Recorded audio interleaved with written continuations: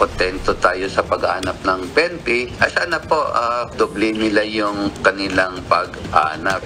Gayon pa man, ay naulit ko po ang aking panawagan na paigtingin pa nila ang seguridad sa aming bayan at magtalaga ng mga karapat-dapat na opisyal at personal sa aming bayan. Hindi tumitigil ang mga tauhan ng Philippine National Police sa paghahanap kay Asnawi Limbona alias Jojo. Si Limbona ang suspect sa bigong pananambang kay Datu Udin Sinsuwat Mayor Lester Sinsuwat noong January 2, 2024. Ayon kay PNP Public Information Office Chief Police Colonel Jean Fajardo, hindi lamang local police ang naghahanap sa nagtatagong suspect kundi maging ang ibang unit ng PNP.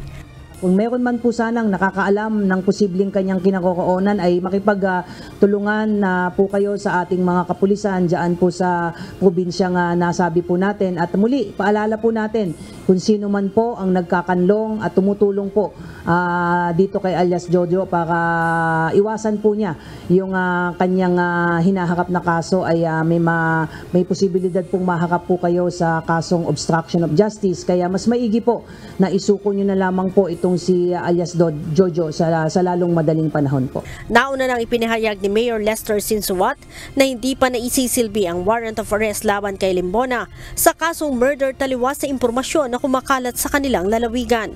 Uh, para sa kaliwanagan ng lahat, ang kasong murder na kinasangkutan ng akusadong si Asnawi Limbona ay nag-ugat sa criminal information na may petsang March 26, 2024 na isinampa ng Cotabato City Prosecutor Office. At narapol po, at tandaan po natin ha, narapol po sa Cotabato City Regional Trial Court Branch 13 na may criminal case number na 2024-15040. Nagugat po ang lahat dahil nabigong panambang ng mga akusado sa inyong lingkod at sa kasawiang palad ay nagresulta sa pagkasawi ng isa sa ating police escort na si Police Staff Sergeant Dicolano.